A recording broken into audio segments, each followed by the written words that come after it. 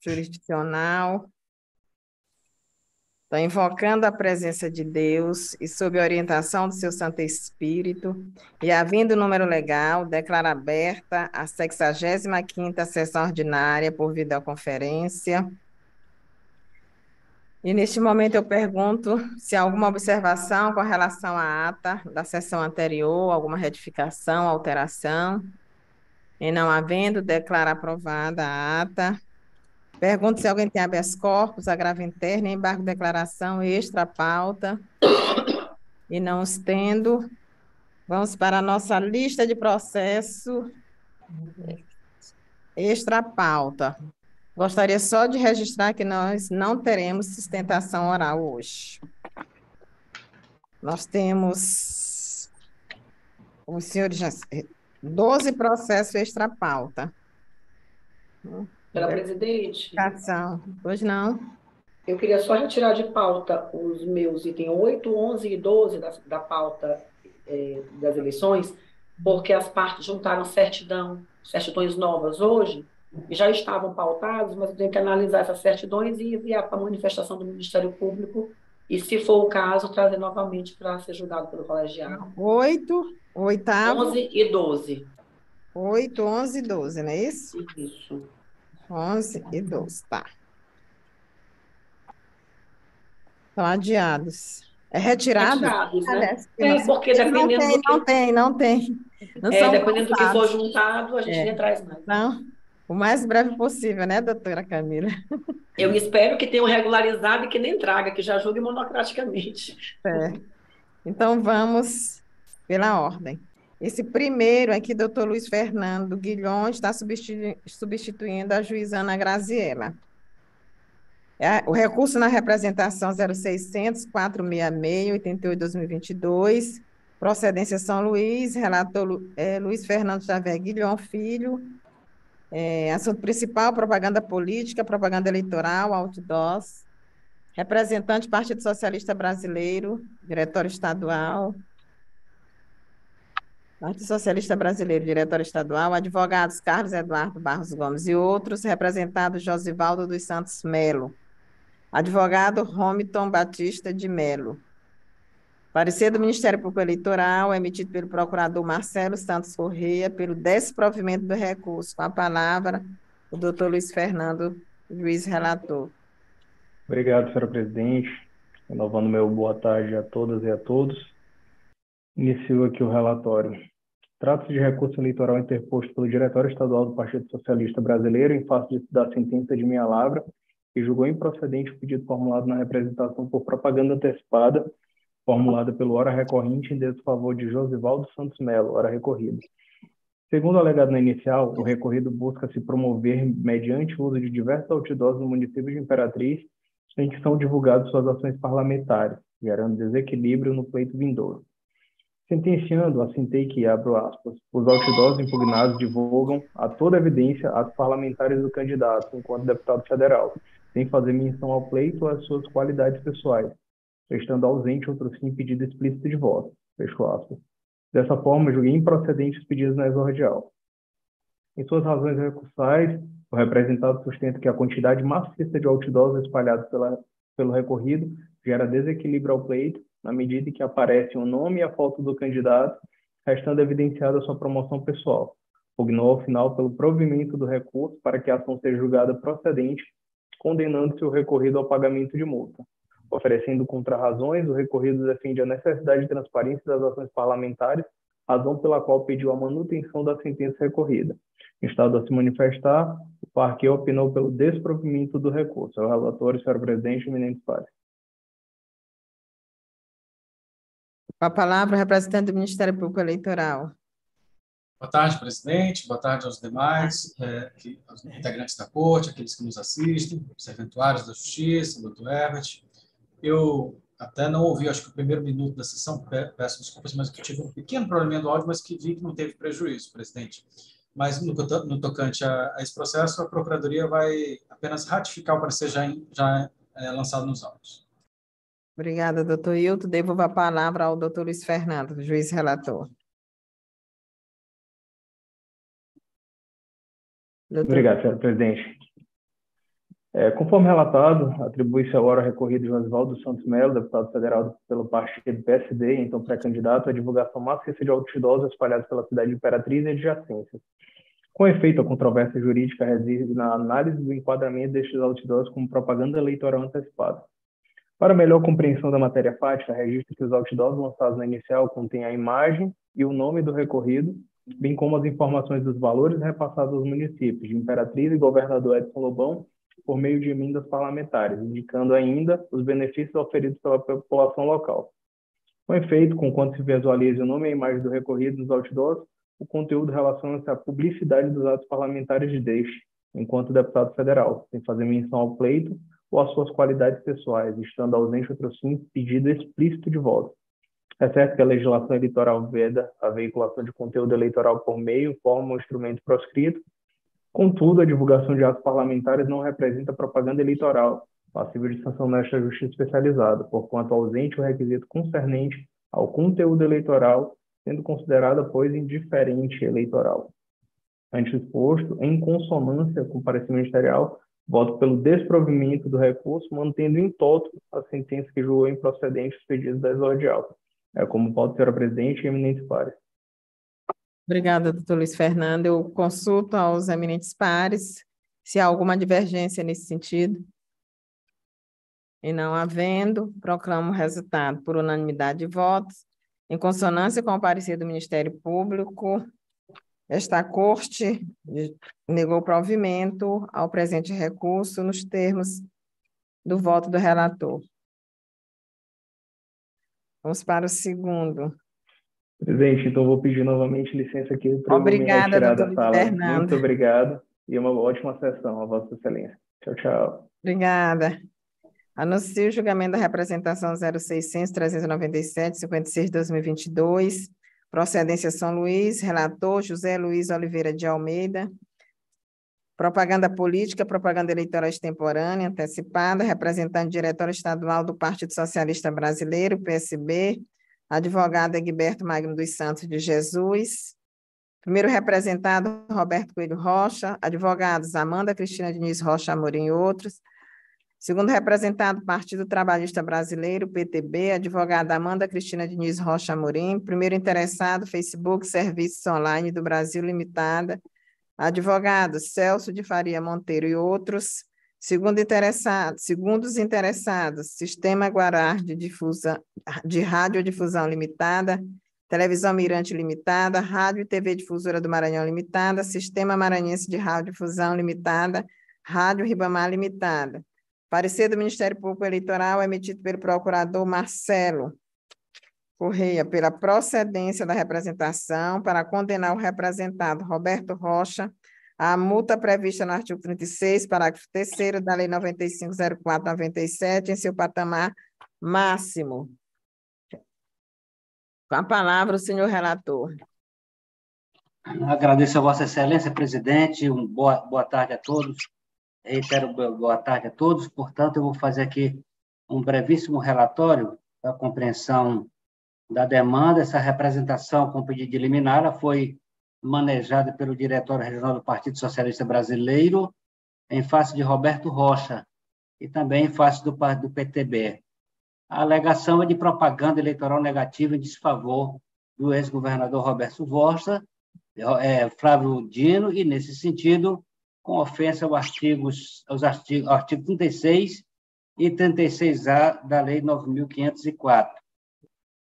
Alega representante, que o primeiro representado, realizou propaganda irregular na forma de inserção, inserção partidária, em desobediência estabelecida por este tribunal, posto que, na grade de exibição das inserções estaduais, não constam datas permitidas ao PTB Maranhão na televisão.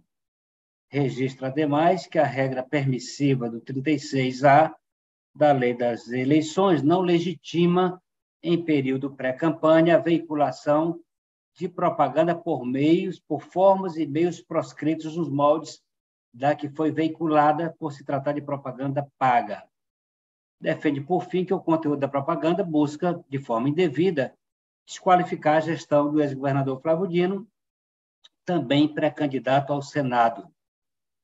A liminar foi deferida, a defesa alega que a prova é imprestável, posto que haveria sinagem devida edição do, no vídeo acostado aos autos e no mérito, que o conteúdo, aliás, essa alegação ela se confunde com o próprio mérito.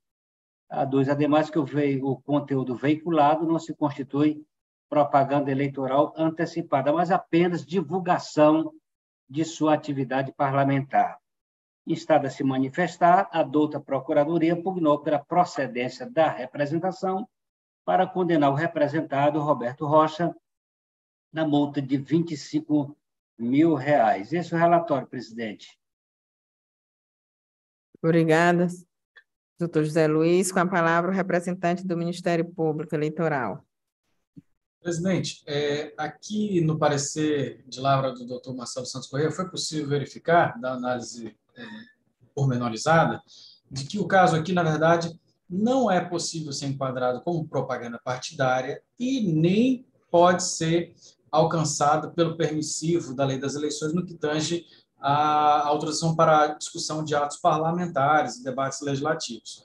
Aqui o representado, nos parece, foi além, porque, de fato, veiculou conteúdo eleitoral com dizeres relacionados à competição, contestou a figura do seu, é, é, do seu concorrente e, para mais, com elementos relacionados com vinheta e, e vinculação ao pleito, de modo que o conteúdo eleitoral se sobressaiu é, sem que houvesse, de fato, menção a qualquer programa, ação vinculado à atuação parlamentar. É, nesse sentido, a Procuradoria mantém o parecer no sentido da representação, da procedência da representação, condenando o representado à multa prevista no 36, parágrafo 3 da Lei das Eleições. Então, parecer. Obrigada, Toildo. Com a palavra, o senhor relator.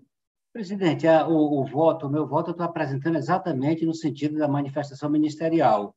Eu entendo até que seria despiciente fazer alguma, algum acréscimo, porque nós apenas, digamos assim, perderíamos tempo, já que meu voto está vazado exatamente nessa linha de compreensão. A única coisa que eu gostaria de submeter aos meus pares, que eu acho que é a questão que talvez suscitasse alguma controvérsia, é em relação ao quantum da multa.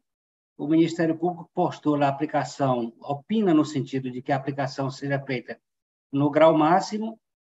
Eu estou adotando essa linha de compreensão do Ministério Público em face dos efeitos e da extensão dessa propaganda extemporânea em rádio e em televisão, em sessões ilegais, sessões que não estavam preconizadas, que não foram determinadas pelo TRE, e, nesse sentido, em face da gravidade do descumprimento de uma resolução e pelo fato da extensão das consequências da veiculação dessa propaganda, eu também estou entendendo como Ministério Público em fixar essa multa em 25 reais. Entretanto, submeto à apreciação do Pleno para que nós possamos construir essa decisão, se houver divergência no sentido que estou votando. É como voto, presidente. Obrigada, desembargador. Como volta o juiz Lino, Os... Lino Souza. Lino Souza. Lino Souza, desembargador, tá bom. É, Lino Souza, eu disse. Na verdade, na verdade, vou aproveitar, desembargador, até fazer uma solicitação, inclusive o doutor Herbert está aqui. Doutor Herbert, eu gostaria que constasse nas, nas pautas e nas publicações Lino Souza II. Apesar de eu ter indicado num primeiro momento Lino Souza, desembargador, porque há uma uma identidade de nomes entre o meu nome de um primo e a única coisa que distingue é o segundo. Uhum. Então, assim, ele é, já houve alguma confusão, então aí eu só pediria, tá, doutor, que constasse nas publicações, vou pedir ao gabinete também, Lino Souza II, só para fazer realmente a, a distinção. É, desembargador José Luiz, eu olhei o voto e hoje eu estou falando baixinho, assim, me desculpem, mas é porque eu estou com uma amidalite aqui que está me, me, dificultando realmente me manifestar. Eu, eu acho efetivamente só que o valor da multa está. Eu assisti aqui o vídeo, verifiquei, claro, tem a, a, a, a questão do alcance da, da propaganda via televisão, mas é íncito a esse ato. Eu acharia que um valor intermediário entre 15 mil, de 15 mil reais seria suficiente para a reprimenda, porque nós, nós precisamos ficar com espaço para pegarmos é, é, é, hipóteses que uma gravidade, uma, uma reiteração, uma coisa se juntem, né? para que a gente possa botar nos 25 mil. É, é, mais ou menos como acontece quando, quando alguém se apresenta no corpo de jurados e você dá logo nota 10, e não tem margem para poder criticar depois os outros. Exatamente. Eu, eu compreendo, eu acho que deve, devemos ajustar, eu concordo plenamente com Vossa Excelência. Aí só depende de saber se o, o resto do, a, da corte, a, os demais membros da corte concordam com a nossa posição. O senhor, o senhor entende que seria 15 mil reais, Vossa Excelência falou? 15 mil, 15 mil, valor tá, médio. Eu, eu já ajusto o voto para 15 mil. Certo. Como vota a juíza Joseane? O som. Senhora do... presidente, senhora presidente, eu acompanho o relator. Relator, né? Com o voto já ajustado, né? No já, já ajustado, ajustado, 15 mil reais a multa. O juiz André Borgeia. Presidente, com ajuste do, do voto do ilustre relator, eu acompanho. Como vota a juíza Ana Graziela? Senhora presidente, é, eu também vou acompanhar o voto do relator, só registrando que eu não vejo aqui o pedido explícito de não voto, eu vejo meio proscrito e vejo o conteúdo eleitoral e também convido aqui na, na, no patamar da multa estabelecida aí um valor médio. É, a minha decisão está nesse sentido. Tá, né, Desmardo? Porque eu fiquei na dúvida se tinha se o senhor tinha convergido, porque no parecer do Ministério Público tem um momento que ele fala do pedido explícito de não voto. Aí, nesse sentido, não, eu, não, eu não. divido, né? Não, não, então, eu, então vou acompanhar... também que não há. Eu também entendo que não há. Então, vou acompanhar Vossa Excelência as inteiras.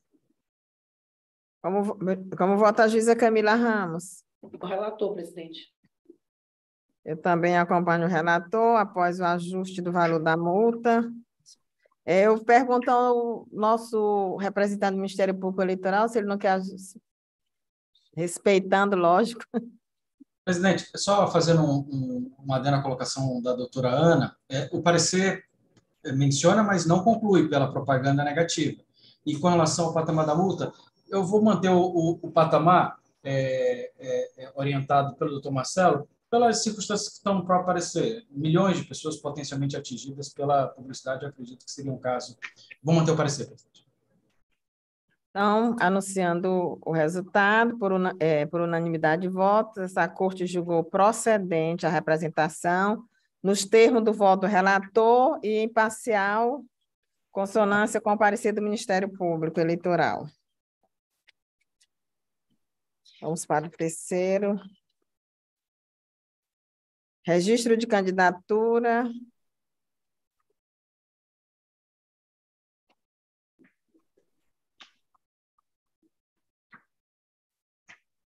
O terceiro, né, Herbert?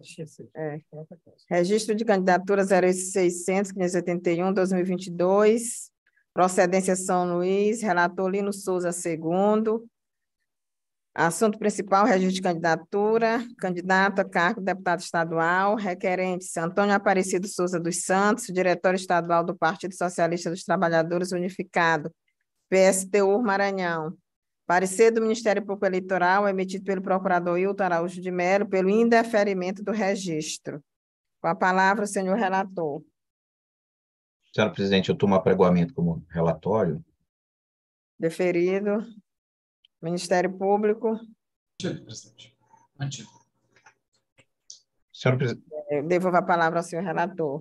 Senhora presidente, a questão é simples. Não ficou demonstrado aqui é, a regular filiação partidária, nem foi apresentada a certidão necessária. Depois, o próprio partido indicou no processo de registro que a própria agremiação decidiu retirar a candidatura. Então, estou indeferindo o pedido de registro. Alguma divergência nesse sentido, eminentes pares? E não havendo, proclamo o resultado por unanimidade de votos. Esta Corte indeferiu o pedido de registro de candidatura nos termos do, é, do, do requerente, nos termos do voto do relator e de acordo com o parecer do Ministério Público. Vamos para o quarto. Registro de candidatura 0601 220 30 2022 Procedência São Luís, relatora Ana Graziela Santana Neiva Costa. Assunto principal, registro de candidatura, RRC, candidato a deputado federal. Requerentes, Lucivaldo Tavares Cardoso e Democracia Cristã, antigo PSDC. Parecer do Ministério Público Eleitoral emitido pelo procurador Hilton Araújo de Melo pelo indeferimento do registro na forma do artigo 50, parágrafo 1 da Resolução TSE número 23.609-2019. Com a palavra, a senhora relatora. Senhora presidente, vou pedir para adotar o pregoamento como relatório. Deferido. O Ministério Público, com a palavra. Sentido parecer, presidente. Devolvo a palavra à senhora relatora.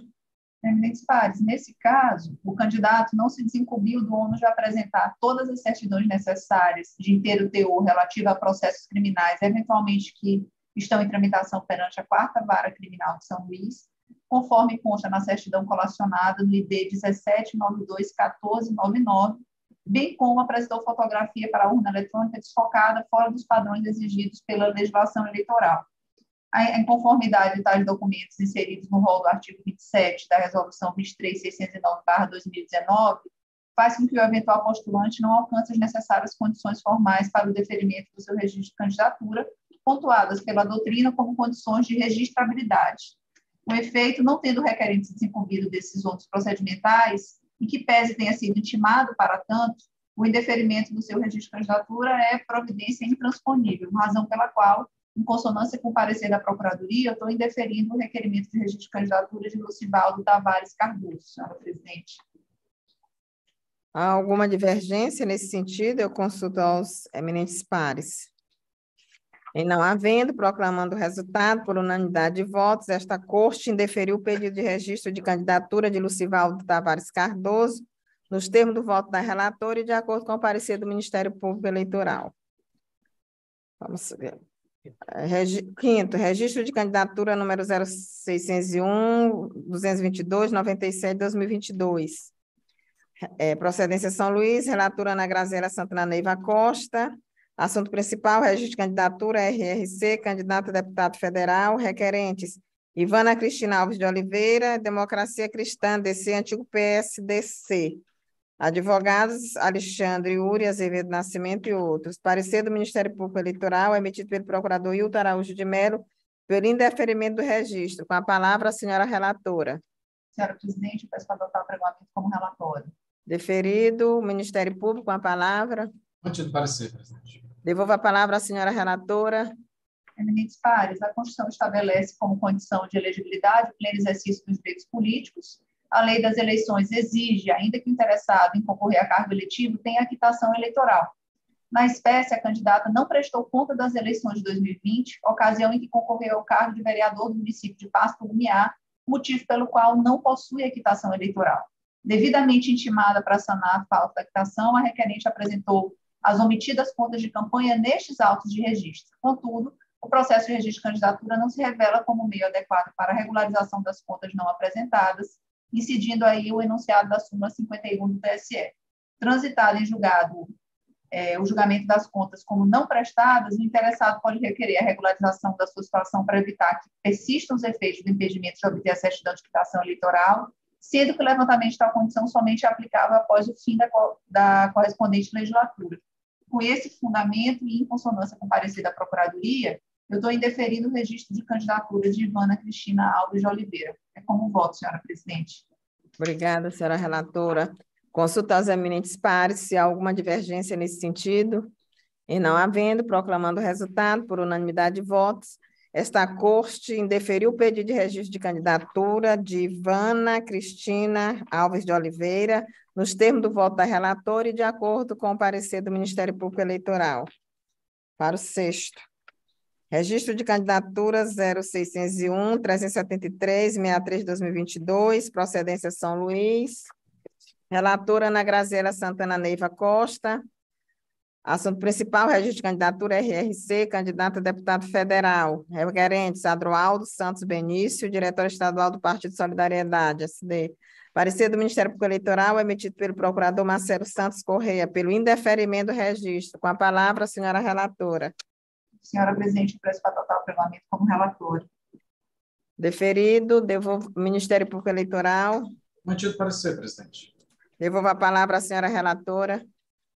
Bom, nesse caso, é, a condição de elegibilidade, como, tal como no, no processo anterior, Aqui não houve a quitação eleitoral, porque o candidato que tinha concorrido ao cargo de prefeito no município de Tufilândia no pleito de 2020 e teve sua, sua conta de campanha julgada como não prestada, processo já transitado em julgado, é o processo 0600 337 17 2020, e segundo a inteligência do artigo 80, inciso 1 da resolução 23607, na hipótese de contas eleitorais julgadas não prestadas, o candidato fica impedido de obter a certidão de quitação eleitoral até o fim da legislatura, persistindo os efeitos da restrição após esse período até a efetiva apresentação das contas, tal como preceitua a súmula 42 do TSE.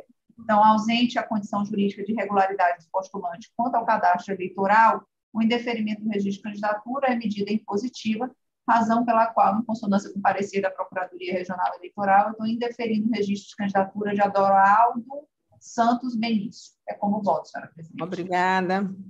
Alguma divergência nesse sentido? Eu consulto aos eminentes pares. Em não havendo, proclamo o resultado por unanimidade de votos. Esta Corte indeferiu o pedido de registro da candidatura de Adroaldo Santos Benício, nos termos do voto da relatora e de acordo com o parecer do Ministério Público Eleitoral.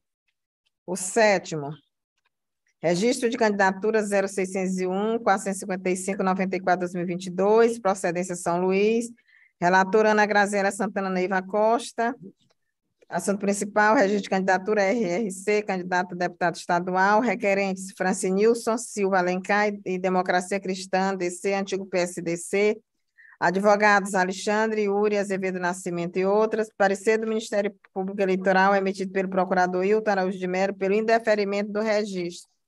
Com a palavra, a senhora relatora. Senhora presidente, peço para adotar o regulamento como relator mais uma vez. Deferido, o Ministério Público com a palavra. Mantido parecer, presidente. Devolvo a palavra à senhora relatora. Esse caso é similar ao segundo que nós julgamos ainda há pouco. É, falta a condição de elegibilidade, porque no presente caso o candidato não prestou contas das eleições de 2016, ocasião em que concorreu o cargo de vereador no município de Açailândia, motivo pelo qual ele não possui a quitação eleitoral. Foi devidamente intimado para sanar a falta da quitação o requerente apresentou também nestes autos de, de registro a prestação de contas da campanha de 2016. Contudo, o processo de registro de candidatura não se revela esse o meio adequado para a regularização das contas não apresentadas, incidindo aqui de novo a súmula 51 do TSE. E ocorre que o trânsito julgado do julgamento dessas contas como não prestadas, o interessado pode requerer a regularização da sua situação para evitar que persistam os efeitos do impedimento de obter a certidão de quitação eleitoral sendo que o levantamento de tal condição somente é aplicável após o fim do correspondente, da correspondente legislatura, razão pela qual eu estou em consonância com o parecer do, do Ministério Público, indeferindo o registro de candidatura de Nilson Silva Alencar. É como voto, senhora presidente. Eu consulto aos eminentes pares se há alguma divergência nesse sentido. E não havendo, proclamo o resultado por unanimidade de votos. Esta Corte indeferiu o pedido de registro da candidatura de Francinilson Silva Alencar, nos termos do voto da relatora e de acordo com o parecer do Ministério Público Eleitoral. Vamos passar para o nono da lista. Registro de candidatura 0600 805 47 2022, procedência São Luís. Relatora Camila Rose Everton Ferro Ramos. Assunto principal, registro de candidatura RRC, candidato a deputado estadual. Requerentes, José Ribamar Souza Soeiro e Partido Socialista Brasileiro, diretor estadual, advogado Valmir dos Reis Ferreira Neto. O parecer do Ministério Público Eleitoral é emitido pelo procurador Hilton Araújo de Melo pelo indeferimento do registro. Com a palavra, a senhora, a senhora relatora. Adoto como relatório vosso apregoamento, presidente. Referido. Ministério Público, com a palavra. Parecer, presidente. Devolvo a palavra à senhora relatora para proferir o seu voto. Por dos autos, extrai-se que o pedido está acompanhado das informações dos documentos necessários ao registro de candidatura, exigidos pelo artigo 11 da Lei das Eleições, combinado com o artigo 24 e 28 da Resolução 23609 de 2019. No entanto, não restou comprovado o tempo mínimo de filiação partidária do requerente ao respectivo partido, conforme noticiado pela Procuradoria Regional Eleitoral no parecer de 1793-4058. Para suprir irregularidade, o requerente apresentou a declaração de filiação assinada pelo vice-presidente do partido, indicando que é filiado desde 22 de março de 2022 no ID 179 318 32. Desta forma, resta ausente a condição de elegibilidade, visto que o requerente não consta na, na lista oficial do partido, de, do Partido de Sistema de Filiação Partidária da Justiça Eleitoral, Filia Web, com prazo mínimo de filiação partidária de seis meses antes da data das eleições, ou seja, desde 2 de abril de 2020, consoante informação da Justiça Eleitoral. Quanto à declaração de filiação assinada pelo vice-presidente do partido, destaque-se que a prova da filiação partidária para aferição e pedido de registro de candidatura deve ser realizada por meio da relação dos filiados encaminhados pelo partido político à Justiça Eleitoral, para fim de cumprimento dos prazos da filiação partidária para o efeito de candidatura a cargos eletivos, conforme disposto no artigo 19, caput da Lei 9.096-95. Assim, a informação da data de filiação do requerente ao partido consta do banco de dados da Justiça Eleitoral como sendo 17 de 4 de 2022 somente podendo ser desconstituída pela apresentação de provas, provas cabais em contrário, conforme a orientação da súmula 201 do TSE, o que não foi feito na espécie, vez que o postulante apresentou apenas documento produzido unilateralmente em contrariedade ao disposto na citada. De sorte que o requerente não comprovou que se encontra afiliado ao partido político nos seis meses anteriores à eleição, não possuindo, assim, condição de elegibilidade para concorrer no pleito vindouro. Diante do exposto, em consonância com o parecer ministerial, indefiro o requerimento de o registro de candidatura de José de Ribamar Souza Soeiro para concorrer ao cargo de deputado estadual sob o número 40-133 nas eleições de 2022. É como voto, presidente. Obrigada, doutora Camila. É, eu consulto aos eminentes pares se há alguma divergência nesse sentido. E não havendo proclamando o resultado por unanimidade de votos, esta Corte indeferiu o pedido de registro de candidatura de José Ribamar Souza Soeiro, nos termos do voto da relatora e de acordo com o parecer do Ministério Público Eleitoral. O décimo, senhores e senhoras, nós vamos ter sustentação oral. Pediu agora, eu não, vamos assegurar. É o registro de candidatura 060 76, 56 de 2022, procedência São Luís, número relatora Camila Rose Everton Ferro Ramos, assunto principal, registro de candidatura RRC, candidato deputado federal, requerente Valdimeire Xavier Bem da Luz, diretor estadual do Podemos, POD, PTN, PHS. Advogados Humberto Henrique Veras Teixeira Filho e Luciano Alain Carvalho de Matos. Parecer do Ministério Público Eleitoral é emitido pelo procurador Hilton Araújo de Mello pelo indeferimento do registro. Com a palavra, a senhora relatora. Trata-se de requerimento de registro de candidatura formulado pelo Diretório Regional do Podemos em favor de Valdimeiro Xavier Ben da Luz ao cargo de deputada federal nas eleições de 2020. O requerimento foi acompanhado pelo formulário DRAP PJE 060 1060 05 2022, julgado e deferido em 20 de agosto de 2022. A Secretaria Judiciária desse tribunal informou que este pedido se encontra regularmente instruído e atende os requisitos exigidos pela resolução do TSE 23609 de 2019, com a redação dada pela resolução 23675 de 2021. Publicado o edital nos termos do artigo 34 da resolução supracitada, nenhuma impugnação ou notícia de inelegibilidade foi apresentada a este pedido de registro de candidatura, conforme o certidão da Secretaria Judiciária. A Procuradoria Regional Eleitoral apunou pelo indeferimento do registro. Esse é o relatório, senhora presidente.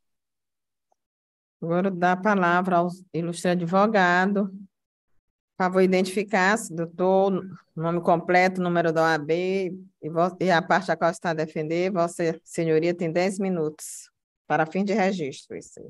Tá Presidente, eu poderia. Presidente, eu sei que é inusual, mas como é um caso especial, vou pedir a licença exclusiva da doutora Camila, só para comunicar que aqui o parecer ministerial ele vai ser alterado por um erro material no próprio parecer, que certamente é a razão do, do, do ilustre causídio que já está aí na tribuna, com certeza. É, existe um erro material e o parecer do Ministério vai ser retificado para deferimento, só porque eu já sei o que, que provavelmente o, o colega da tribuna vai dizer. Boa tarde. Excelentíssima senhora presidente, excelentíssimo senhor procurador regional eleitoral, demais membros, Luciano Alain Carvalho de Matos, OABMA 6205, pela parte diretório estadual do Podemos. É, de fato, como o nosso ilustre procurador já adiantou, houve um erro material, um erro de fato no, no parecer, isso foi o que nos motivou a vir até aqui na tribuna. Até peticionamos antes, mas por diligência a gente preferiu vir aqui na tribuna esclarecer esse fato. É que foi apontado como data de filiação 3 de abril de 2022, portanto, não estaria respeitado o prazo mínimo de seis meses de filiação. Ocorre que, como consta das informações prestadas pela própria Justiça Eleitoral, a data de filiação é 3 de abril de 2020, certo? E a gente juntou ainda é, a essa peça a certidão de filiação extraída do sítio do TRE. Então, tendo em vista a correção desse dado, é, solicita-se é, data venha que o doutor procurador, é, assim como já o fez, altere seu parecer e que a ilustre relatora julgue procedente o registro de candidatura. Então, obrigada, doutor. Obrigada, doutor Alain. É, passa a palavra ao representante do Ministério Público. Eu agradeço a síntese do, do nobre advogado, é, que preza pela celeridade e eficiência da Corte, e a Procuradoria, de fato, retifica o parecer é, para o deferimento. Devolvo a palavra à senhora relatora. Então, diante do esclarecimento da retificação do parecer, vou ser bem breve, e digo que, verificando todas as condições de elegibilidade, se encontram presentes na documentação relacionada, não, se, não vislumbro qualquer causa de inelegibilidade prevista na legislação, razão pela qual defiro o registro da candidatura em favor de Valdimeire Xavier Bem da Luz ao cargo de deputada federal nas eleições de 2022. Obrigada, doutora Camila. É, eu, diante desses esclarecimentos, eu, é, por parte do Ministério Público Eleitoral, eu consulto aos nobres pares se há alguma divergência nesse sentido. E não havendo, proclamo o resultado por unanimidade. Esta corte deferiu o pedido de registro da candidata Valdimeire Xavier Bem da Luz, nos termos do voto da relatora e de acordo com o parecer do Ministério Público, modificado em banca. Presidente, presidente, Sim. antes de prosseguir, só para que eu não esqueça, no, no segundo da pauta, da extra pauta que eu votei, a procedência é parcial da representação, e eu esqueci de fazer esse registro, porque foi proposta contra o candidato e o partido, mas eu entendi pela responsabilização apenas do candidato e não do partido. Só para só... conseguir para ah, é, fazer a correção. Retificação para fim de registro. Não, estou falando aqui com a, com a, tá secretária, a secretária para fazer essa retificação. Excelência. Nos termos do colocado pelo relator, viu, Isso. doutora? Uhum. Tá. Nós terminamos, né? Porque o décimo segundo, a doutora Camila pediu para trazer em outra oportunidade. Então, vamos para os processos pautados. Primeiro da pauta, anuncio o julgamento da prestação de contas eleitorais, de contas eleitorais, número 0600 649 30 2020, Procedência São Luís, assunto prestação de contas eleitorais, contas de partido político relativas às eleições de 2020. Primeiro requerente, diretório estadual do PSL, Partido Social Liberal, advogado doutor Tibério Henrique Lima Cordeiro. Segundos requerentes, Fábio Marques Carvalho, Francisco de Assis Marcel Carvalho. Advogada doutora Rosana Galvão Cabral. Interessado, Antônio Banhos Neto. Advogado, doutor Marco Antônio Brito Castro. Relator, juiz André Bogé Pereira Santos. Processo adiado pelo relator na sessão plenária de 25 de agosto. Parecer do Ministério Público Eleitoral emitido pelo procurador Hilton Araújo Melo, de Melo, pela desaprovação das contas, com determinação de recolhimento ao Tesouro Nacional de R$ 2.995,77 relativa às irregularidades envolvendo recursos do fundo partidário. Com a palavra, o senhor relator. Presidente, que vosso pregão seja admitido como relatório. Deferido, o Ministério Público, com a palavra. Mantido parecer, presidente. Devolvo a palavra ao senhor relator. Senhora presidente, nobres pares, mais uma vez, boa tarde. É, vou direto ao ponto das irregularidades e impropriedades constatadas em parecer conclusivo, é, o setor técnico opinou pela desaprovação das contas. As inconsistências e irregularidades foram as seguintes. Primeira, descumprimento do prazo de entrega de relatórios financeiros de campanha. Segunda, doações recebidas e gastos eleitorais realizados em data anterior à entrega da prestação de contas parcial, mas não informados à época. Terceiro, emissão de recibo eleitoral após a entrega da prestação de contas final. E quarto e último, não aplicação do percentual mínimo dos recursos do fundo partidário nas candidaturas de pessoas negras. Vamos ao primeiro ponto. O descumprimento do prazo de entrega dos relatórios financeiros de campanha. Dispõe o artigo 28, parágrafo 4 inciso 1 da Lei 9.504, repetido é, a norma no artigo 47, caput, inciso 1 da Resolução 23.607, o seguinte: os partidos políticos, as coligações e os candidatos são obrigados, durante campanhas eleitorais, a divulgar no sítio criado pela Justiça Eleitoral para esse fim, na rede mundial de computadores, um, os recursos em dinheiro recebidos para financiamento de campanha eleitoral em até 72 horas de seu recebimento. Divisada a inobservância àquela norma, orienta o, o artigo 47, parágrafo 7 e 8 da mesma Resolução 23607.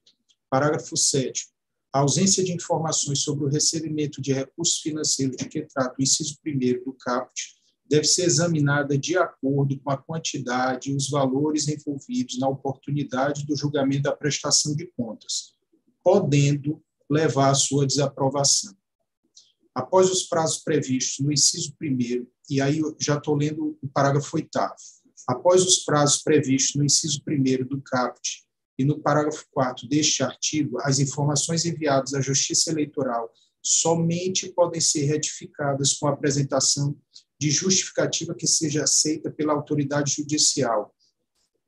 E no caso de prestação de contas parcial, mediante a apresentação da prestação retificadora, na forma do artigo 71 caput e parágrafo 2 desta resolução. Observado o fluxo jurisprudencial sobre o tema no âmbito do egrégio TSE, conclui-se que os julgados referentes às eleições de 2016 e 2018 seguiram o entendimento mais brando.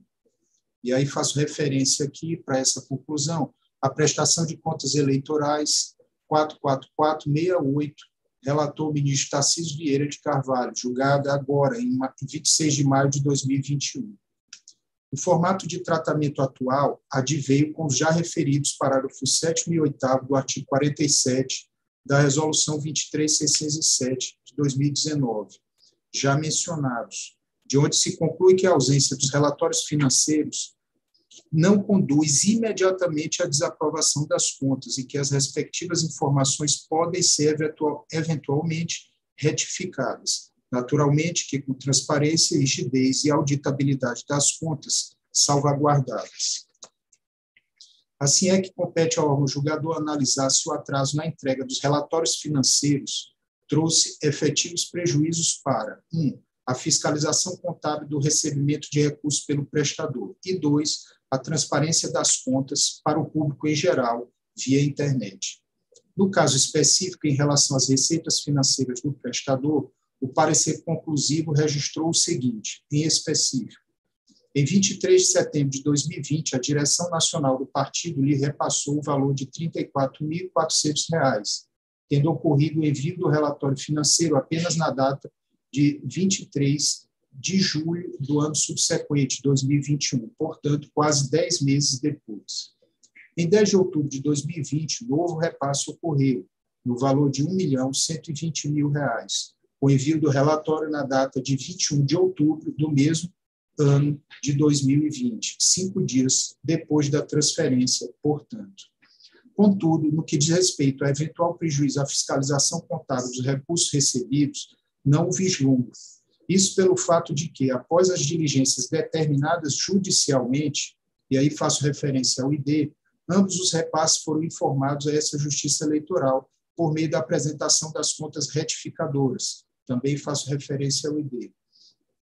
Sendo tais informações levadas em consideração na elaboração do último parecer técnico conclusivo e ainda da manifestação ministerial.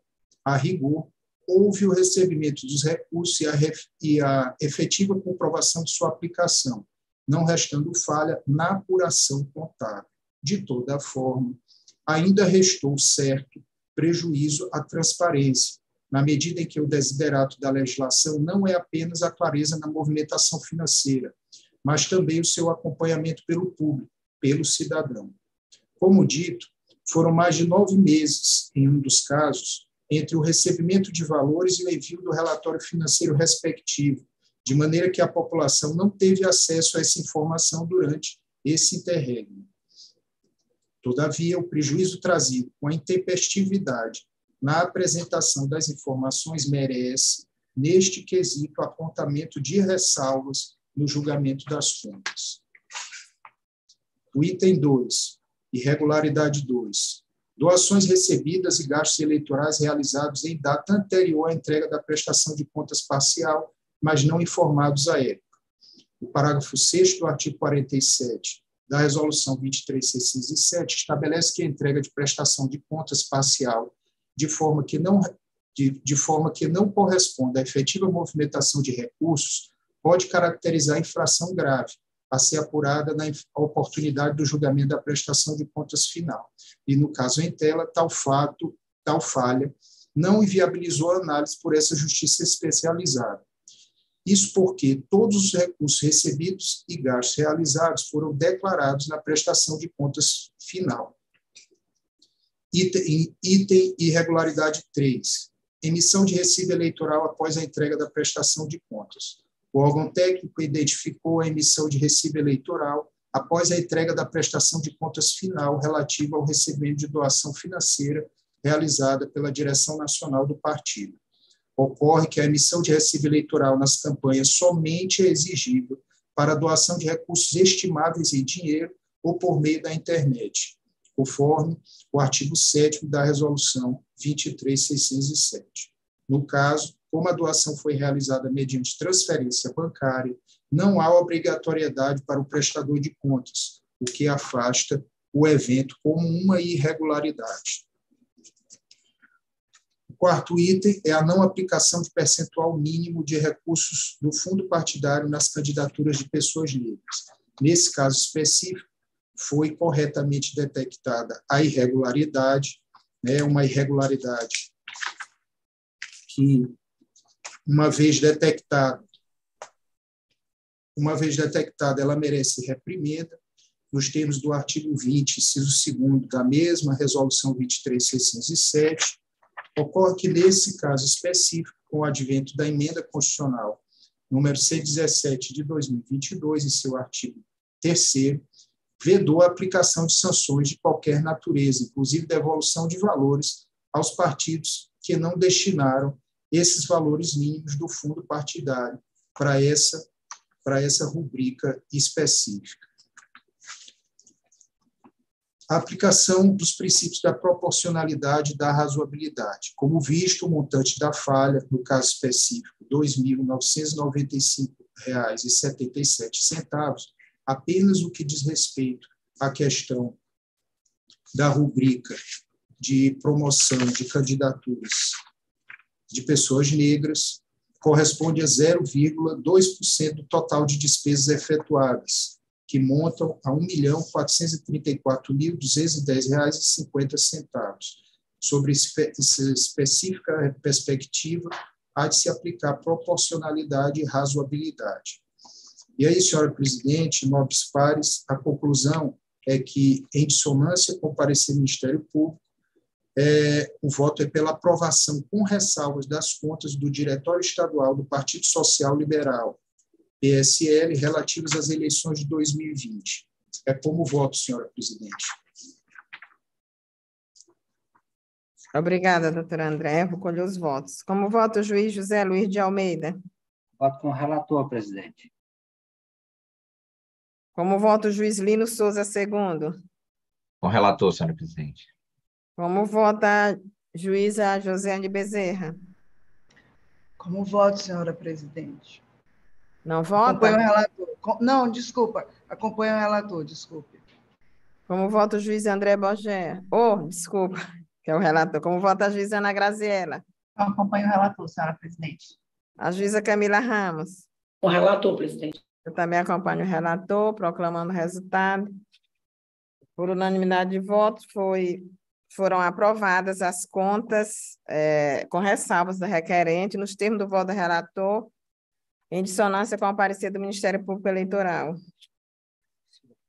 Para o segundo, anuncio o julgamento do recurso eleitoral número 0600 43649 2020 procedência Santa Quitéria do Maranhão, 24ª Zona Eleitoral de Brejo, assunto recurso eleitoral, prestação de contas de candidato ao cargo de prefeito pelo PDT, Partido Democrático Trabalhista, eleições 2020, recorrente Ana Cláudia Costa Viana, advogados doutores Breno Silva Gomes Pereira e outros, interessados José Elcio,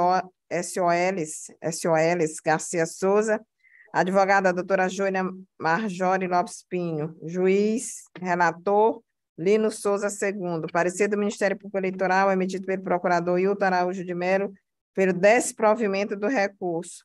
A decisão de primeiro grau julgou desaprovadas as contas apresentadas pelo recorrente, pela recorrente, com fulcro no artigo 74, 3 da Resolução TSE 23.607, 2019. Com a palavra, é o senhor relator. Senhora presidente, toma apregoamento como relatório.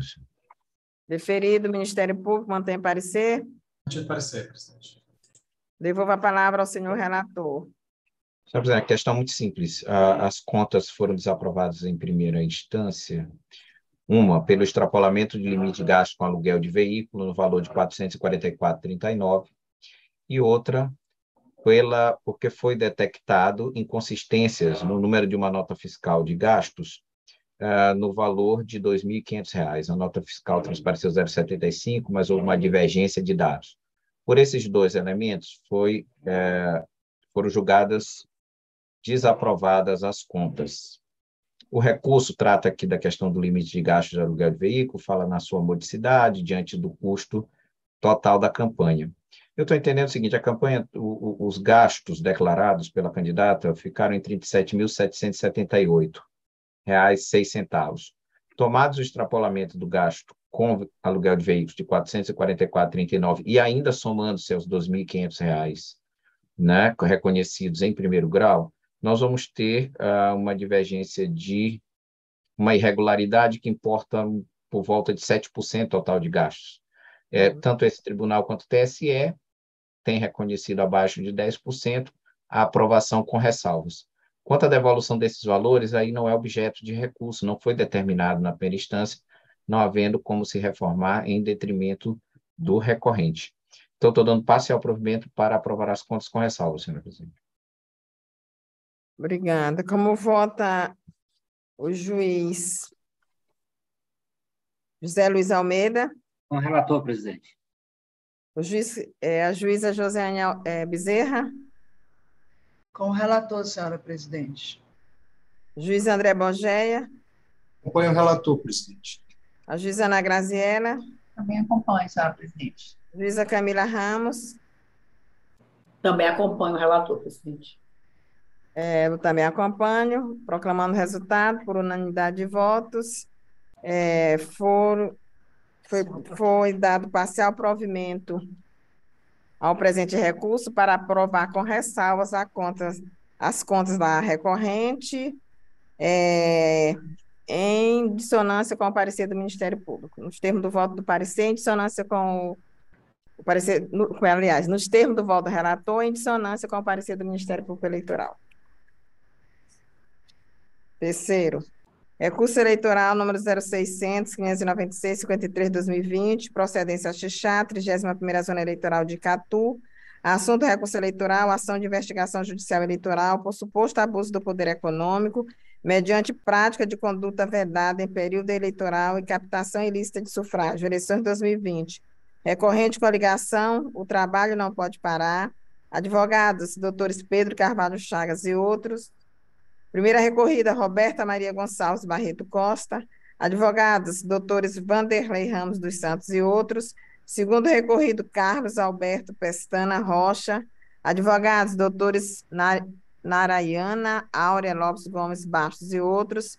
Terceira recorrida, Coligação Juntos Construindo uma Nova História, advogados doutores Narayana Áurea, Lopes Gomes Bastos e outros. Relator, juiz Lino Souza, segundo. Parecer do Ministério Público Eleitoral emitido pelo procurador Hilton Araújo de Melo pelo desprovimento do recurso eleitoral. A decisão de primeiro grau julgou improcedentes os pedidos formulados na AIGE, extinguindo o feito com resolução do mérito com fulcro no artigo 487, inciso 1 do Código de Processo Civil. Com a palavra, o senhor relator. Senhor presidente, não obstante se trate de AIGE, mas os fatos não são complexos. Então, vou tomar apregoamento como relatório e vou tratar dos fatos no voto. Deferido com a palavra o Ministério Público Eleitoral. Presidente, a Procuradoria vai manter integralmente o parecer pelo desprovimento do recurso. Devolvo a palavra ao senhor relator. Bom, a, a, ação se fundamenta, ela traz como causa de pedir um fato específico.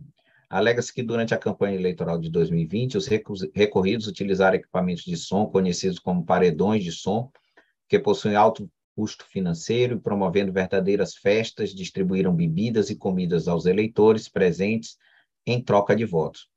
Esses são os fatos. É, em tese, esses fatos poderiam, dependendo do que se demonstrasse, dependendo do, da, da, configuração que eles restassem ao final do processo, até demonstrar um abuso de poder. Mas o que acontece é que nesse processo, primeiro, as provas orais foram apresentadas, uh, terminaram sendo ouvidas só como informante.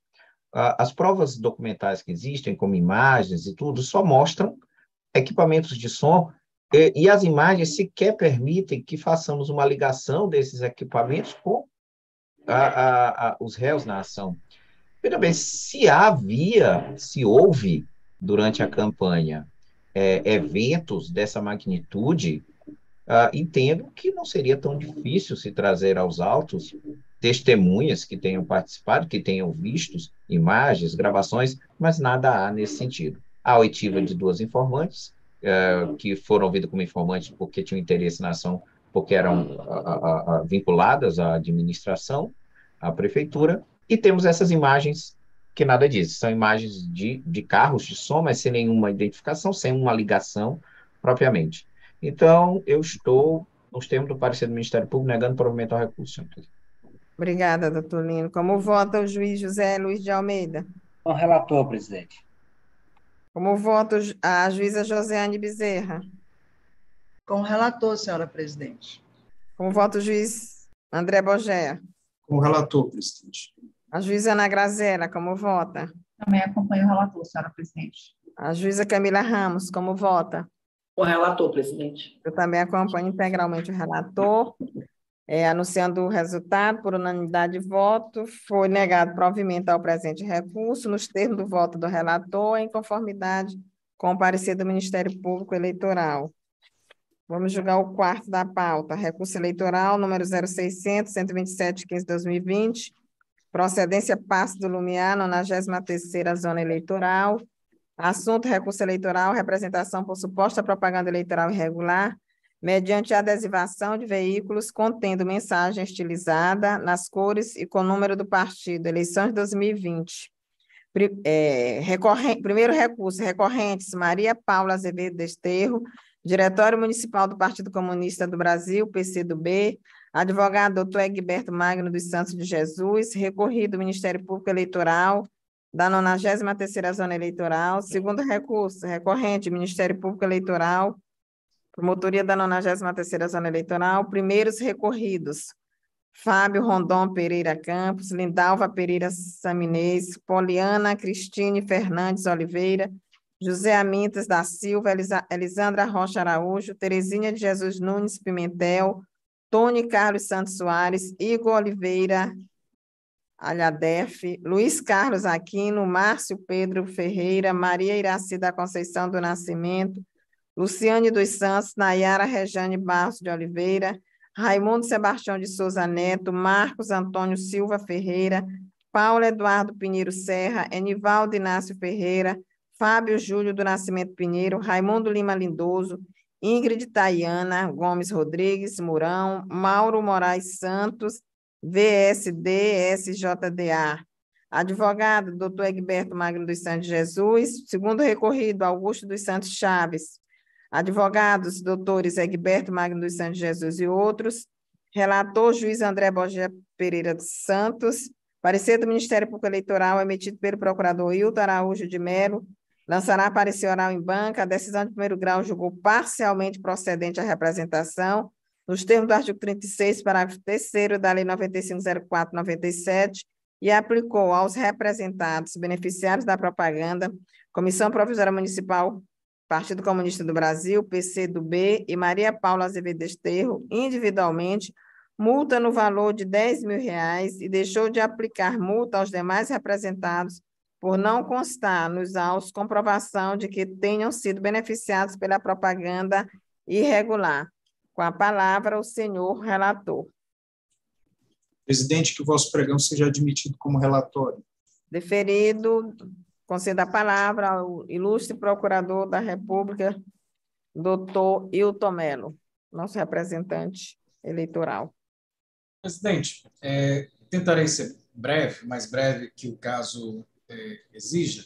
O caso vem do município de Passo do Lumiar, aqui na ilha de São Luís. Em, em momento é, anterior ao período de campanha, no ano de 2020, a, a douta promotora eleitoral que, que oficiava na localidade identificou, né, identificou o que foi chamado de verdadeiro derrame de adesivos que se constituíram como aquela plotagem. Todos nós sabemos que agora estamos em período de campanha, que é uma plotagem é, adequada à legislação eleitoral no período de campanha, que o sujeito adesiva a parte traseira do seu vidro traseiro do seu veículo.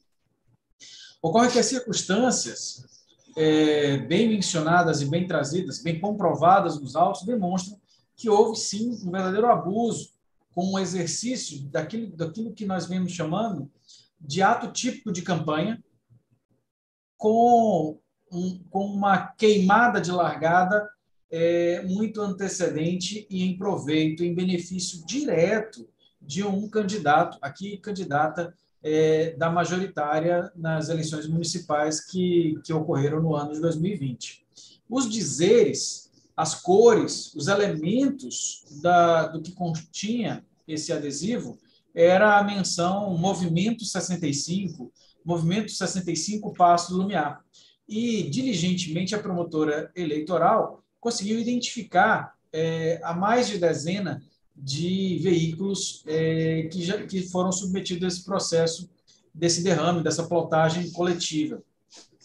E o juiz sentenciante bem observou é, o conteúdo eleitoral, a irregularidade eleitoral flagrante, contudo, deixou de responsabilizar e fixou a multa tanto para o diretório responsável por todo o processo, quanto para a senhora Maria Maria Paula Azevedo de Esterro, mas e, e, fixou multa de 10 mil reais em função é, da repercussão que aquela conduta é, é, foi capaz de, de ser refletida na eleição, mas deixou de verificar a responsabilidade de tantos outros que foram arrolados e que foram identificados como proprietários dos veículos, por não identificar, segundo o próprio juiz, o próprio magistrado, que é, haveria prova de que eles seriam é, beneficiados pela propaganda irregular.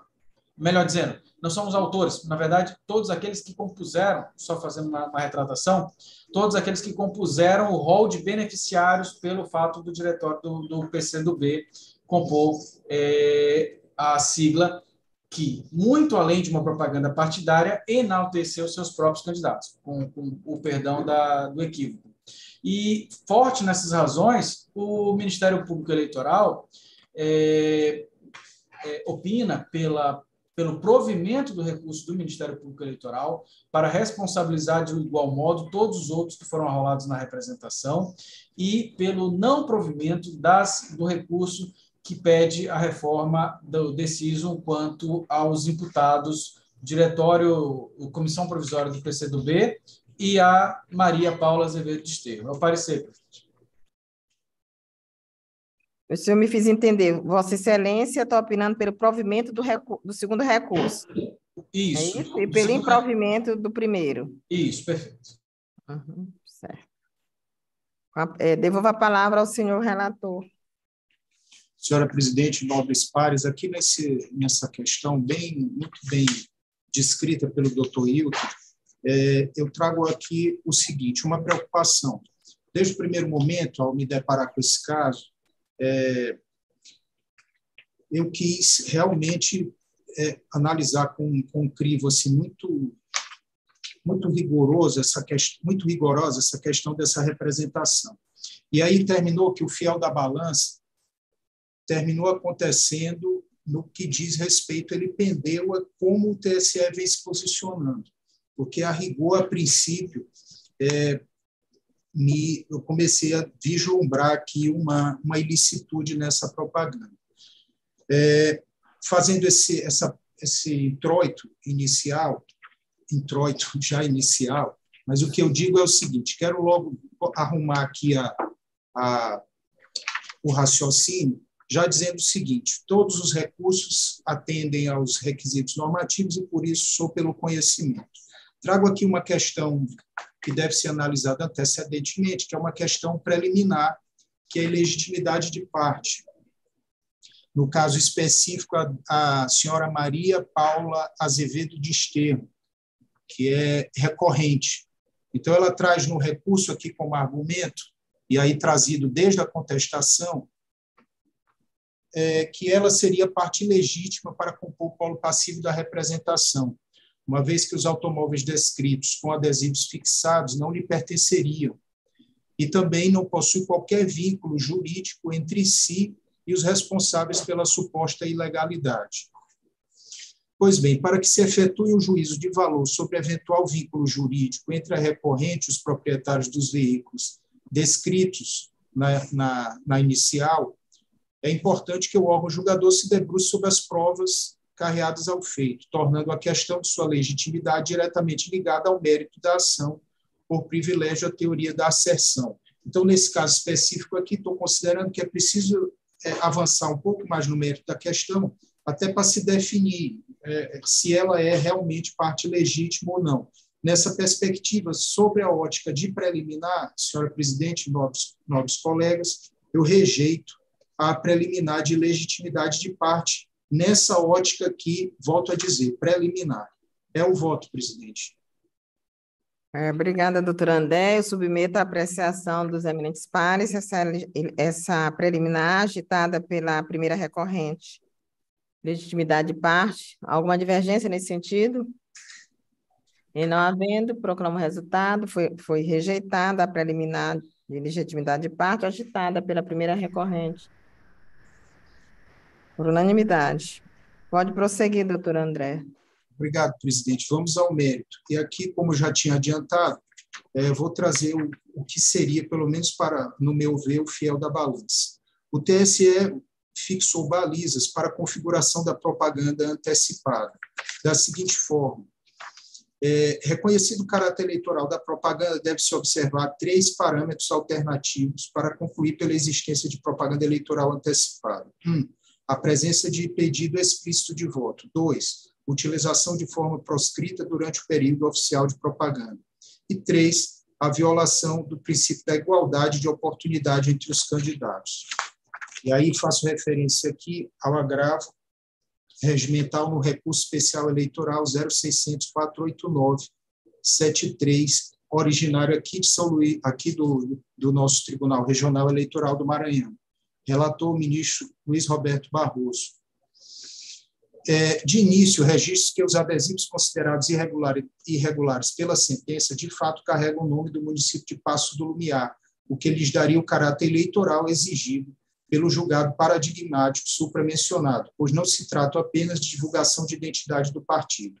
Na espécie, entretanto, é nítida a ausência de pedido explícito de voto.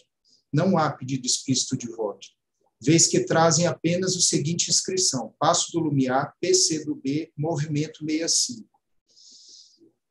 Além disso, a utilização de adesivo no para-brisa traseiro de qualquer veículo não implica em forma proscrita de propaganda eleitoral, posto permitida pelo parágrafo 4 do artigo 38 da Lei 9.504, que diz: é proibido colar propaganda eleitoral em veículos, exceto adesivos microperfurados até a extensão total do para-brisa traseiro, e em outras posições, adesivos até a dimensão máxima fixada no parágrafo terceiro. Nesse sentido, resta-nos apenas, apenas analisar o terceiro parâmetro para que se verifique ou não a configuração da antecipação irregular da propaganda eleitoral, qual seja o da violação ao princípio da igualdade de oportunidades.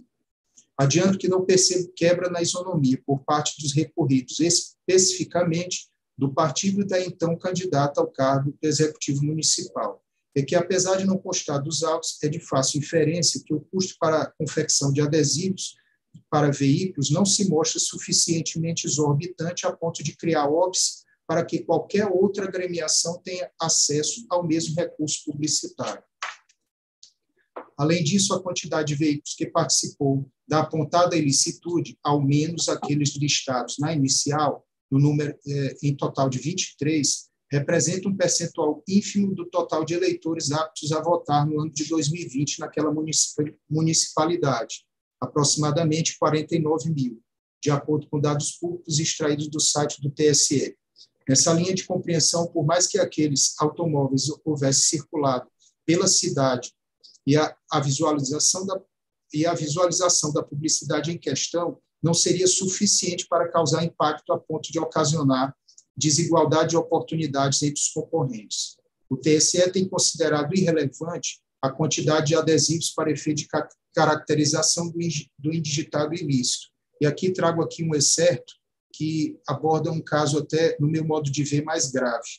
Diz aqui no trecho do julgado, na espécie, ao contrário do que concluiu a corte de origem, não é possível cogitar a existência de pedido explícito, nem mesmo por meio de palavras mágicas, pois a mensagem veiculada nos adesivos denota apenas menção à possível candidatura do agravante diante de sua condição de pré-candidato, o que não é suficiente para o reconhecimento da propaganda eleitoral antecipada, conforme parâmetros fixados por este tribunal sobre a interpretação do artigo 36A da Lei 9.504.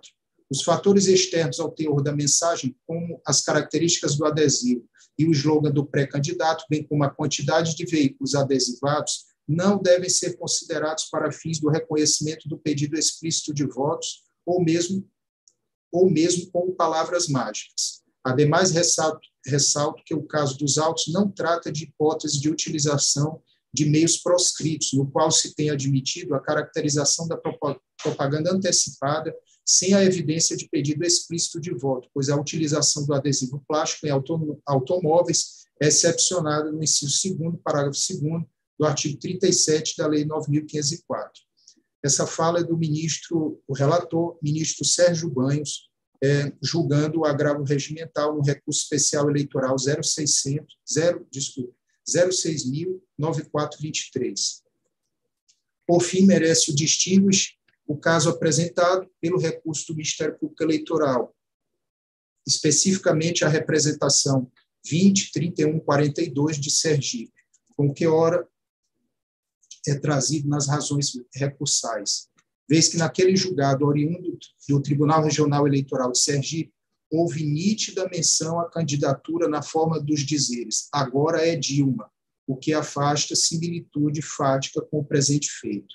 Portanto, ausentes os requisitos fixados já ainda e também pela jurisprudência do Tribunal Superior Eleitoral, não reconheço na publicidade impugnada a ocorrência da propaganda eleitoral antecipada.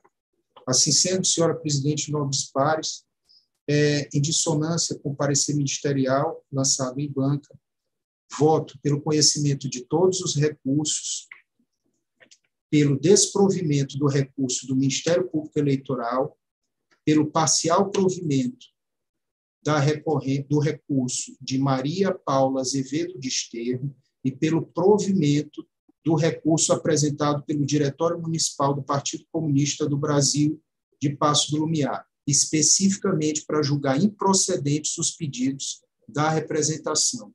É como voto, presidente.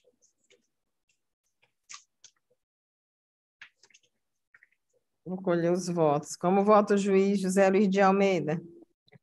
Presidente, pela leitura do voto do eminente relator, eu também não vislumbrei esse pedido explícito de voto, nem tampouco essas as palavras mágicas, e, ademais, pela construção do voto apresentado aqui, me, pare, me parece não, o que inferia que ele está de acordo com a jurisprudência já sedimentada para avaliação dessas questões. Então, nesse sentido, tenho, eu tenho impressão que não há muito o que reparar, aliás, não há o que reparar no do eminente relator, então, nesse sentido, eu vou acompanhá-lo. Como vota o juiz Lino Souza II? Doutor André, me tire só uma dúvida aqui, por favor, porque eu não, não olhei o processo antes. Quem é Jú, Júlio Pinheiro é o candidato? Candidato municipal lá na, na, na ocasião é Júlio Pinheiro?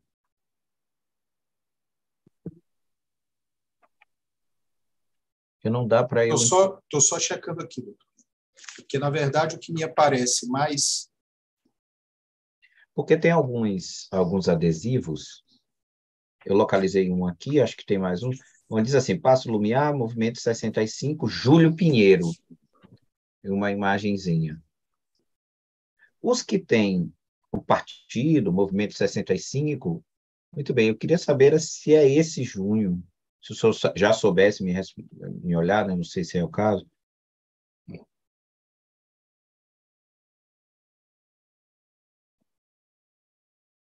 Estou checando aqui, estou checando aqui, estou checando. Ele está aqui na relação dos recorridos, né? É, candidata a prefeita era a Maria, que é. Que Maria Paula Azevedo? Isso, candidata a prefeita. Então não é o Júlio. Não. Eu estou procurando o nome dele, que não estou encontrando nem é atual, né? A Maria, a Maria... Ele está na relação dos recorridos. O senhor está procurando no processo, né, doutor? É.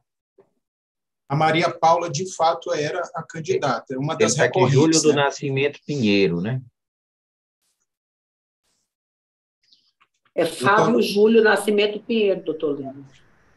É Fábio Júlio Nascimento Pinheiro, que é o Júlio Pinheiro, está aqui. É o que está na inicial, isso. Mas não é ele o candidato, né? O candidato é a. Não, é Maria. É Paula. Bom, é assim, e figura como recorrente. Como recorrente. Então, eu vou acompanhar também o relator, senhor presidente. Obrigada, doutor. Como vota a juíza Josiane Bezerra? Eu também acompanho o relator, senhora presidente. Obrigada, doutora. Como vota a juíza Ana Graziela? Eu vou acompanhar o relator, senhora presidente. A juíza Camila Ramos. Também acompanho o relator, presidente. Eu também acompanho. Então, vamos anunciando o resultado. Vamos aí, doutor André, nos ajudar. Por unanimidade, presidente, vamos lá. Por unanimidade de votos, foi, foi dado... Foi negado. negado... Vou... A senhora quer que eu repita? Repita, por favor, para ela anotar aqui, a secretária. Pois não, presidente é, em dissonância do voto do, do, do, do, parecer do Ministério Público, lançado em banca, é, conhecidos todos os recursos, o voto foi por conhecimento de todos os recursos. Aí vamos lá. Pelo desprovimento do recurso interposto pelo Ministério Público Eleitoral. Sim. Pelo parcial provimento do recurso interposto por Maria Paula Azevedo de Esterro. Sim e pelo provimento do recurso interposto pelo Diretório Municipal do PCdoB de Passo do Lumiar, para julgar improcedentes os pedidos da representação. Uhum. É. A gente só bota assim nos termos do voto do relator. Ela já anotou aqui, doutora André, obrigada. Foi registrado de acordo com o que Vossa Excelência concluiu. Ok, Anuncia o julgamento do agravo interno, no agravo de instrumento, número 0600 438 23 2022, procedência São Luís. Assunto agravo de instrumento, agravo interno em face de decisão monocrática ID 1790 55 29, que negou seguimento a agravo de instrumento interposto em razão de indeferimento de pedido de reconhecimento de nulidade processual por cesseamento de defesa em cumprimento de sentença nos autos da prestação de contas número 0600 491 63 2020, eleições de 2020. Agravante Maria José dos Santos Moreira, advogada da Defensoria Pública da União.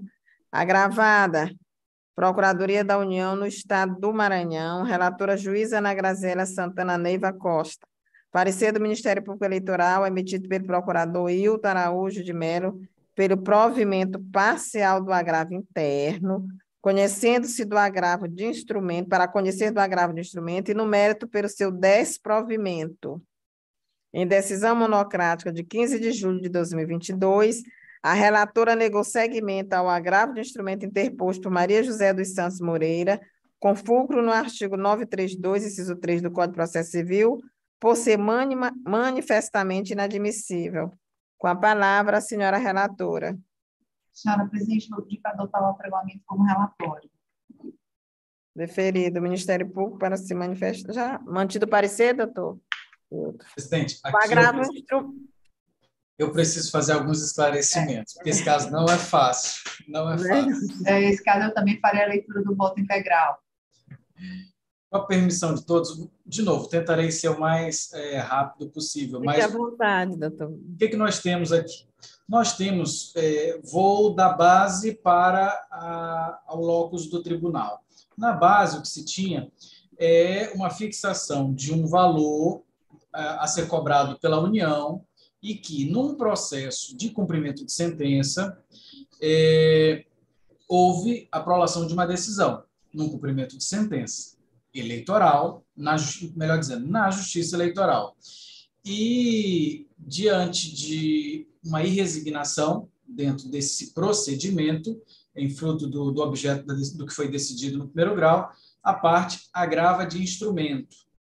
A doutora relatora, a doutora Ana Graziella, é, decide e decide pelo não conhecimento do agravo de instrumento e junta é, é, fundamentos jurídicos e jurisprudência no sentido de que o agravo de instrumento não há de ser manejado na justiça eleitoral por falta de previsão.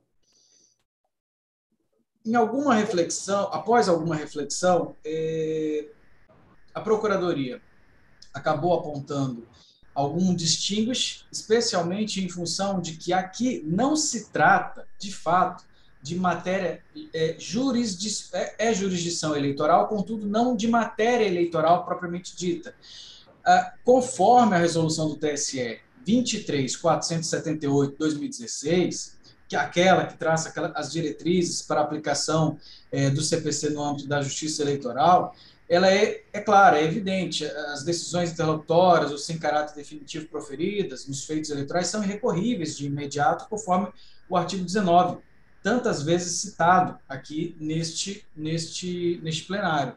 Contudo, como eu já disse, não vislumbro no, na fase de cumprimento de sentença essa, esse caráter de natureza eleitoral, seja porque as resoluções do TSE que tratam das prestações de contas, seja a 23609 quanto a 23607, também muito conhecida por esse plenário, fazem menção expressa a essa fase. Essa fase pós, é, pós o conteúdo materialmente eleitoral para colocá-lo num segundo plano, num segundo modo de, de proceder no que tange ao cumprimento de sentença.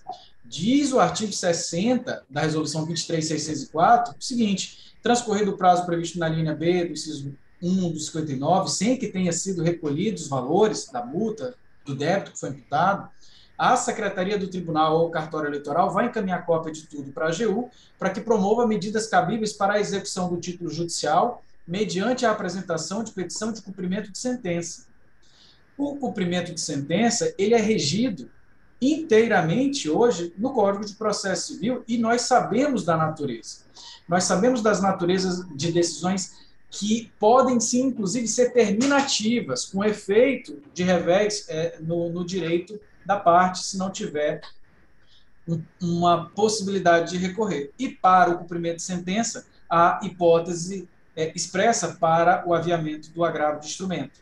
Por, por esse construído, e não diferente de, de, de outras hipóteses em que nós já identificamos aqui nesse mesmo plenário, é, casos onde não havia o reconhecimento material do direito eleitoral, em que pese haver jurisdição eleitoral, é que é, nós entendemos ser sim caso de quando há cobrança de multa eleitoral, pode ser sim um feito não eleitoral. Então, com essas considerações, aí juntei alguma jurisprudência que caminha nessa inteligência, especialmente quando o TSE expressamente fala sobre a execução, não cumprimento de sentença, mas execução em outros autos, que ela menciona o uso da lei da execução fiscal, aquela antiga, mas conhecida por todos, é, 6.830-90, a lei de execução fiscal, LEF, né, conhecida LEF.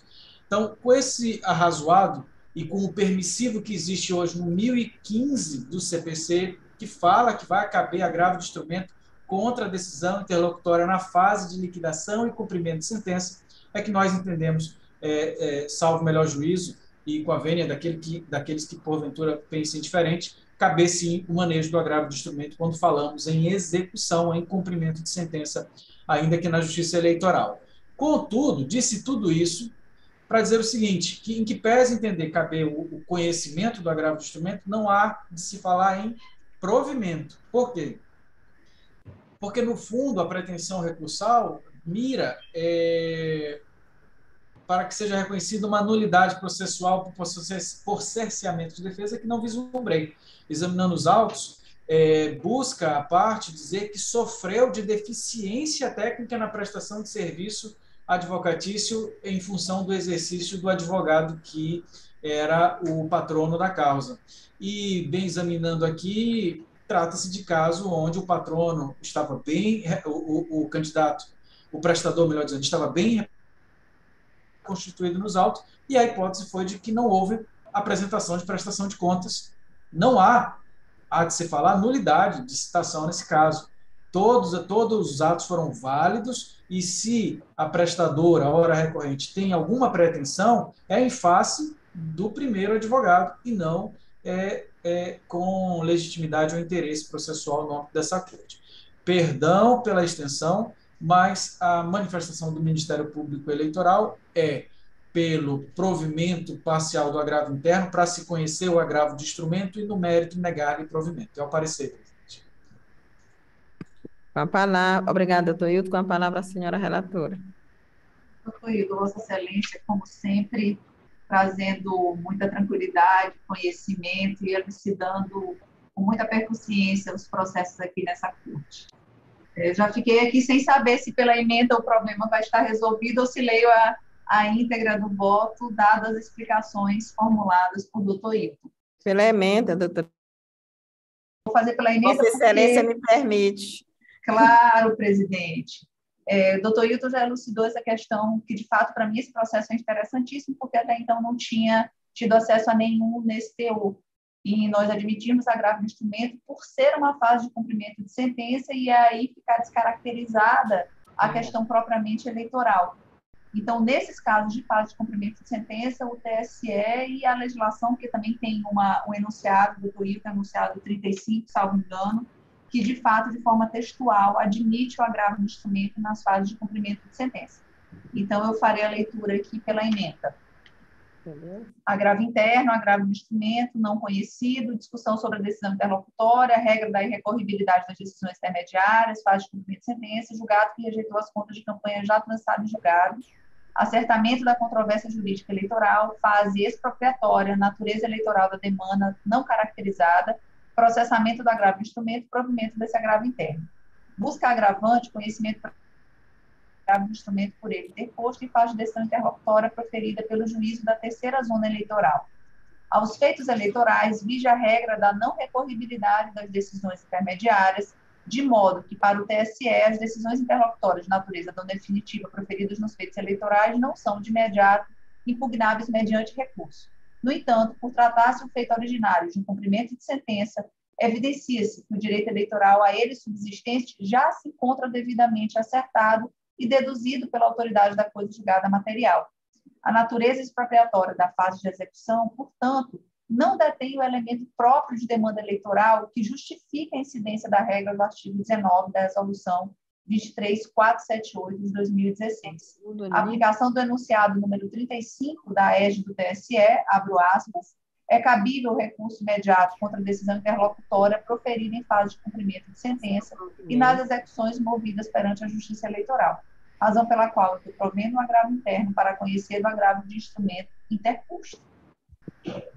Diga aí a conclusão, doutora, que eu não estava tá aqui. Estou dando provimento ao agravo interno para conhecer do agravo de instrumento indeposto, senhora presidente. Vossa Excelência não, porque o Ministério Público deu parcial provimento.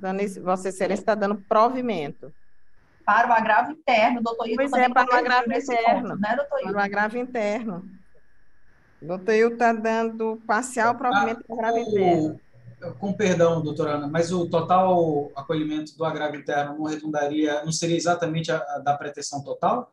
É. Posso estar enganado. Eu mas... acho que não. É porque ele pede a nulidade depois, ou seja, o provimento para a gente poder conhecer do agravo. Porque senão tá, então, a gente ele, não conheceria. Ele não está é, conhecendo. Eu ajusto. Eu, não, não, presidente, eu ajusto, porque é? o, que, o, que, eu disse foi provimento parcial do agravo interno. E certo. pelo que da, da doutora Ana, provimento to, total, né? Uhum, Exatamente, para depois a gente Para conhecer o agravo de instrumento e, negar, e lhe negar provimento. É isso? Isso. Mas Não. aí eu vou julgar agora o mérito do agravo, né? Já ah, que a gente, nós vamos adentrar o agravo de instrumento, então é como agora o mérito. Alguma divergência nesse sentido? Não, né? Então, por unanimidade, ela está pegando como uma. Então, prossiga, doutora o agravo de instrumento, alegação de nulidade do processo de prestação de contas, cesseamento do direito de defesa decorrente da atuação negligente ou imperita dos causísticos contratados, procuradores regularmente constituídos pela agravante, inexistência de vício, responsabilidade da parte quanto aos deveres de candidata, constituição de procuradores como ato personalíssimo, nulidade não configurado, desprovimento. Buscou agravante a anulação do processo que deu origem ao débito exequendo em razão de suposta má prestação do serviço promovido pelos procuradores por ela investidos. Inexiste novidade processual a ser reconhecida, não versando sequer nos argumentos delineados pelo agravante matéria aferível pela via impugnativa, segundo o rol do parágrafo 1 do artigo 525 do CPC. Ainda que não taxativo, o elenco fixado no CPC é fato incontroverso que foi a própria agravante quem constituiu os advogados que lhe representaram nos autos da prestação de contas de campanha, sendo por força dos artigos 20 e 21 da Lei 9.504/97 a responsável pela administração financeira e pela regularidade das informações contábeis apresentadas. Efetivamente, ao atribuir a culpa aos causísticos por si contratados, busca agravante esquivar-se da responsabilidade que lhe é própria, especialmente com relação aos recursos públicos recebidos do Fundo Especial de Financiamento de Campanha, na ordem de R$ mil reais, e dos valores de origem não identificada que integralizaram sua campanha no valor de R$ 2.140, conforme expressamente consignado na sentença que se busca desconstituir. Inabilidade técnica ou descaso em relação ao cliente são circunstâncias que podem ser discutidas no âmbito disciplinar da OAB ou mesmo através de ação de reparação civil pela parte lesada. Razão pela qual, em consonância com o parecer do Ministério Público, eu estou desprovendo o agravo do instrumento. Alguma divergência nesse sentido? E não havendo, proclamando o resultado por unanimidade de voto, vou pegar tudo, né? Foi dado provimento ao agravo interno, nos termos do, é, para conhecer do agravo do instrumento e, no mérito, nega, lhe negar provimento. É isso? Exatamente. Por unanimidade. Ela já anotou aqui. Vamos para o sexto. É, seu julgamento do requerimento de regularização de omissão de prestação de contas eleitorais, número 0600 342 08 2022, procedência São Luís.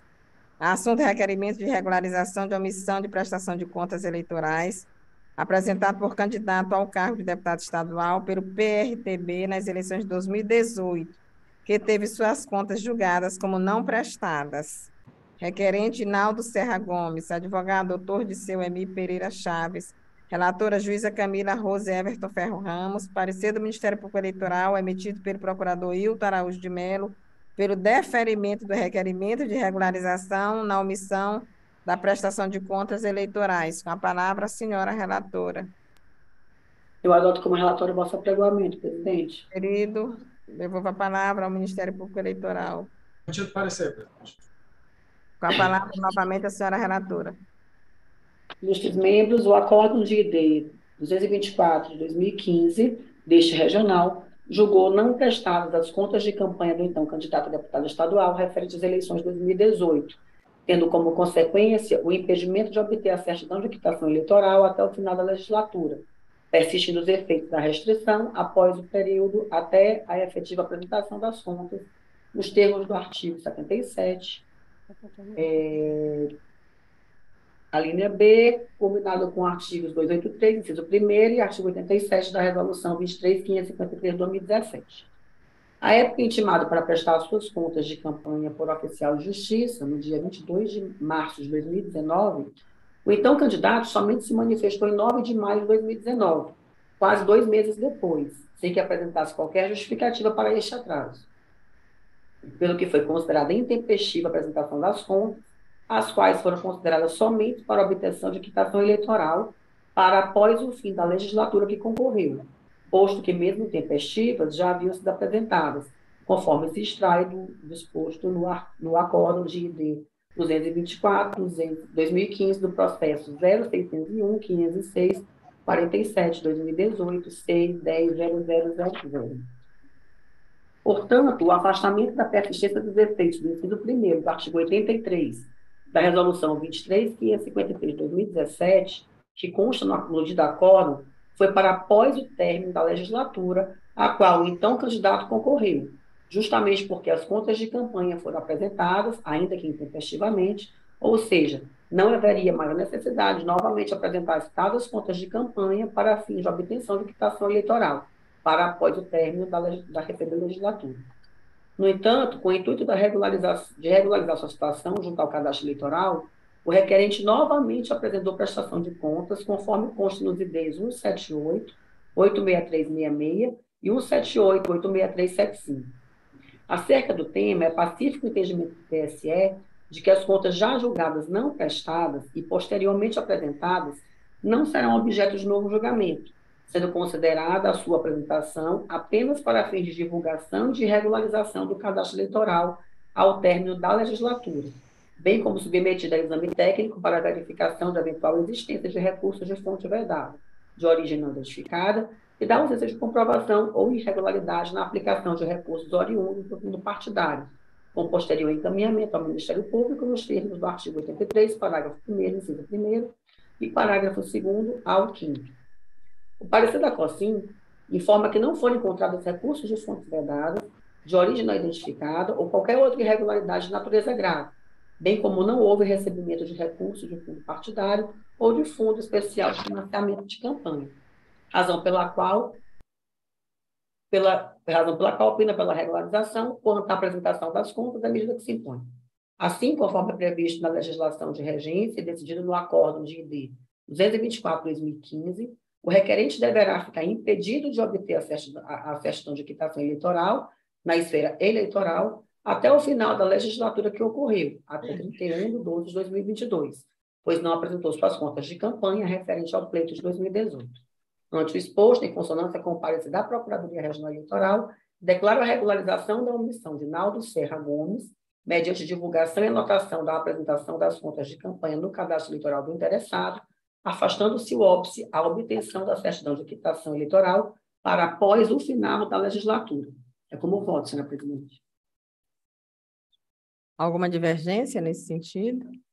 E não havendo, proclamando resultado por unanimidade de voto, esta Corte deferiu o requerimento interposto por Inaldo Serra Gomes, é, nos termos do voto da relatora e de conformidade em conformidade com o parecer do Ministério Público Eleitoral. Senhoras juízas e senhores juízes, eu declaro encerrada a presente sessão e desejando a todos e a todas uma feliz tarde e noite. Até amanhã, se Deus quiser, para que nós possamos dar prosseguimento às demandas que nos são postas para apreciação. Então, Boa tchau. tarde a todos. Boa noite.